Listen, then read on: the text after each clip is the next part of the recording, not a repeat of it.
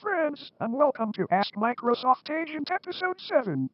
After so long, we have finally gotten more than one comment per episode thanks to our lead commenter.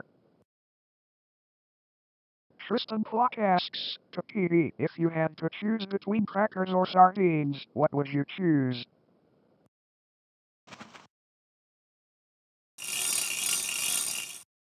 What kind of question is that?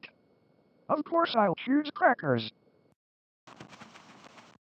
He also asks, Karagi, what is your favorite fruit?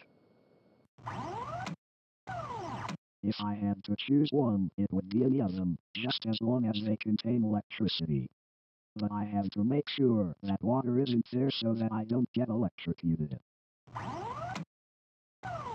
He asks another time, to Packet Man Green, what is your favorite Lego brand? If I had to choose one, it would be Lego City. Trust me, I've seen the funny commercials before.